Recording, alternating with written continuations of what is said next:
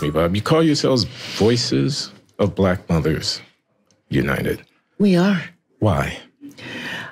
Okay, Have so you explained your situation, uh, why we got started? Yeah. what happened? Um, I was a community affiliate of the Woodson Center since 2006.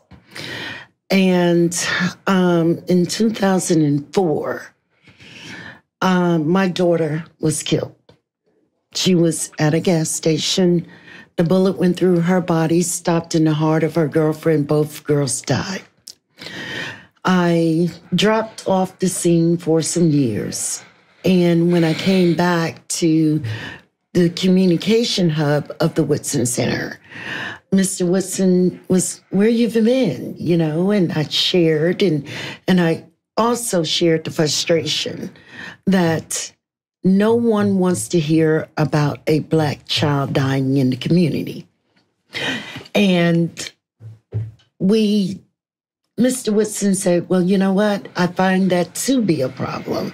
You know, everyone wants to jump up and down and hear about uh, Black Lives Matter and the, and the platform of, of defund the police because it's something negative. People want to hang on to something negative, but we're going to give them something positive to hang on to because there was not an alternative to that. So Mr. Woodson gave Black mothers a voice nationally to be heard.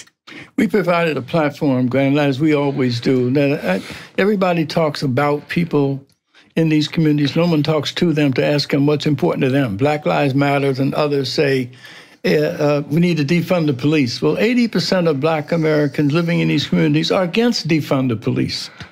They want more police. Um, Black Lives Matters and others say that that um, that that racism is the biggest problem facing Black America. Sixty percent of blacks uh, polls said that it's not the case.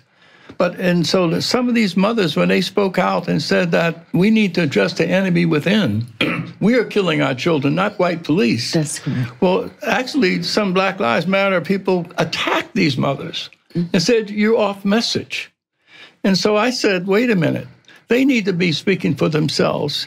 And so I told Sylvia, why don't we reach out? So far, I mean, it, it spread like like thousands. Now we have how many chapters and how many? 22 states and thousands of mothers. And a lot of these mothers have their own organizations where they've actually took the step to turn their pain into purpose. They just needed direction of what to do on the ground and how to help on the ground. And that's what we've been doing.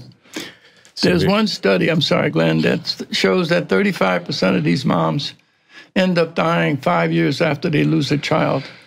And so, what Sylvia does is counsel many of these women in the early stages of losing a child. And I, just last week or so, she talked a mom out of suicide, had her on the phone, um, and and had her husband, you know, call the police.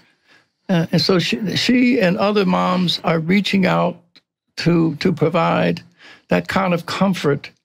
But they're also engaged in, as she said, other activities to prevent crime. We actually have moms embedded with homicide uh, units so that they they respond and go to a site of a homicide because that's where a lot of drama occurs, where a lot of uh, uh, a- anger gets expressed towards the police.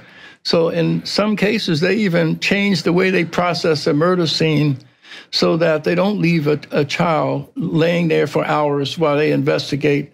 But this was all because of the of the input from the moms uh, who work with Rodney Monroe, who's a yes. former chief of police, who's working now in a very creative way.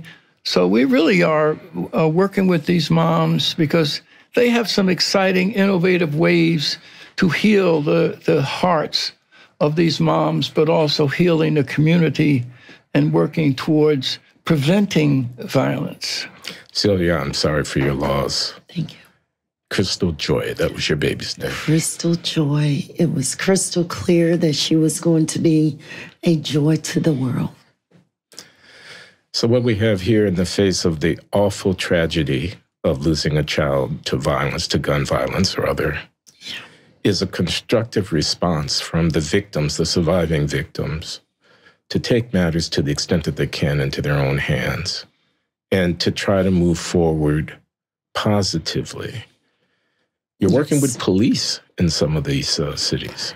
It's an absolute must. The police is um, very much a part of the equation in order to reduce the violence. Um, there's, like Mr. Woodson was saying, 80% of the community members want more police. They want sensible policing in their communities. Um, defund the police is not an option. When you work with the police and you talk about what's happening and what's going on within your community, what you need out of a peace officer that they've sworn to be, and they have that understanding, as well as the community member have an understanding that, okay, we're going to be here and we're going to be visible. So don't get upset when your son is stopped. You know, these are the things that we have to do to reduce this violence. Now, one of the the the bigger issues, um, and I and I'll tell you a story.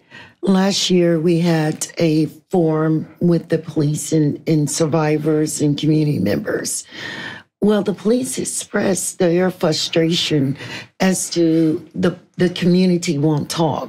Right. You may know who is doing what, but you won't say anything. Yeah. So they gave a very good definition of what snitching really is.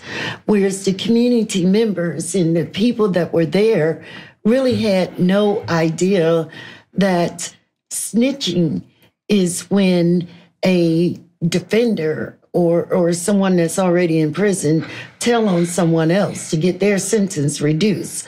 But when a community member calls the police and tell of someone doing something that's violent in their community or committing a crime in their community, that's called a community or a community member complaint. That's what that is. It's not snitching. They also, Glenn, were able to work in five cities where moms were actually employed to deploy at a homicide site. As a consequence, it, it instilled trust between the police, and as a consequence, the number of closed cases increased in cities where we had the moms. So they are really uh, uh, establishing trust between the community and, and, as a consequence, more people are willing to disclose who the perpetrator was, and so that we are we're going to be expanding that and exactly. doing some evaluation of that. But we hope to be investing in more chapters, so the more moms can get involved uh, beyond just uh, uh, uh um, um, grieving. But part of dealing with that grief is to take action to prevent other moms from having to go through that. And that's a very an important part what of the healing. What happens is that every time I see a mom on the TV and she's just received the news that her child is dead and she's wailing and that pain resonates within me. I can imagine that it does. So we have got to reduce this because it's just killing uh, families. It's killing families because you just don't kill that one person. It destroys and break down that whole family. Okay.